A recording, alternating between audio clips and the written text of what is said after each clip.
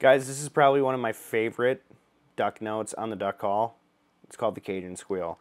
I don't know what it is about this call. I've called it a slutty slew slut in the past. Just a hen who really wants that drake up there.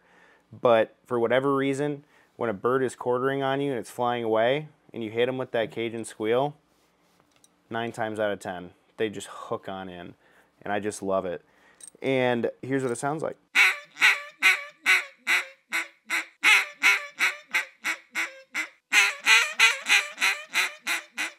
Um, a lot of guys use this when they're really blowing their call, and the the way that I really like to do it is when um, you're trying to finesse the bird and you're trying to be kind of quieter, or you just throw in one note of that where you kind of slur it with your tongue in the middle of a greeting call.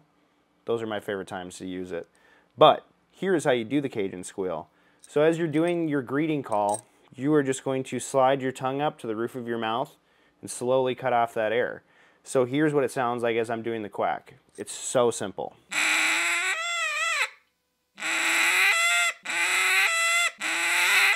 This is to take you a little bit of practice though. You have to understand where your tongue needs to be in relation to the roof of your mouth.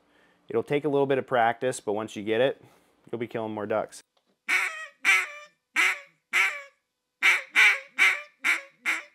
I notice as I'm doing this call as well that I'm constricting my throat a lot more. I'm not allowing all of my air to come out like I would for a greeting call or when you're just hammering on that duck call. I am actually doing something weird with my throat. I'm going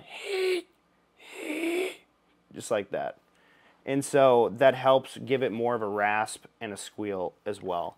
But honestly, guys, all you do is practice that quack and just bring your tongue up to the roof of your mouth till it starts to squeal. And then start with your tongue there.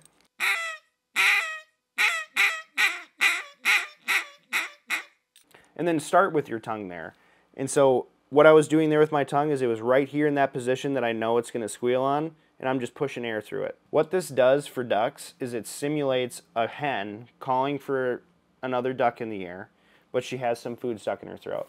So what that's telling the duck is, hey, there's ducks down there, and hey, they're also eating. It's actually an extremely effective duck call, and it's, like I said, it's my favorite duck call to do.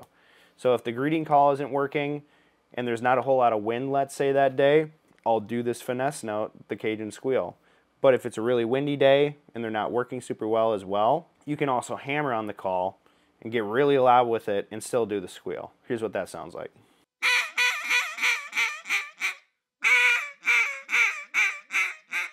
So guys, that is essentially the Cajun squeal. I use it every single duck hunt without fail, and it kills ducks. So hopefully this helped you guys out, helped you understand how to do the Cajun squeal a little bit better. Some calls can do it better than others. What I've got here is a Mulkey Old Riverman. Super, super finessey on the low end. So, thank you guys for watching. We got more videos coming. Be sure to subscribe, share with a friend. Thanks.